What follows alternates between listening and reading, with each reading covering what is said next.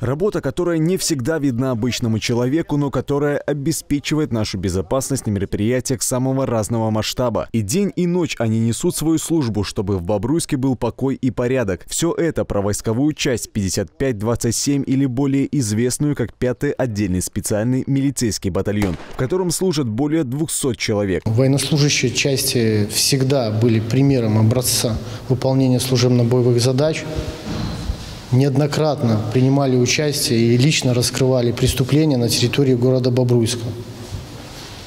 Военнослужащие, которые конвоируют осужденных, за время, за всю историю части не, не было не допущено побега из-под конвоирования. Они ювелирно владеют оружием, и сойтись с ними в рукопашную – роковая ошибка. Военнослужащие войсковой части принимают активное участие в масштабных учениях, которые проходят в нашей стране в последние годы. Руководители силовых ведомств дают высокую оценку их профессионализму. Держитесь, ветераны! До конца.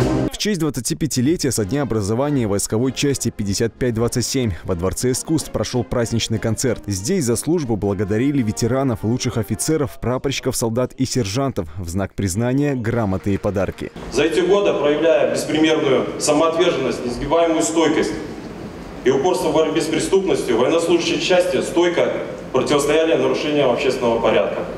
О чем красноречиво говорит тот факт, что более 60 военнослужащих награждены государственными наградами.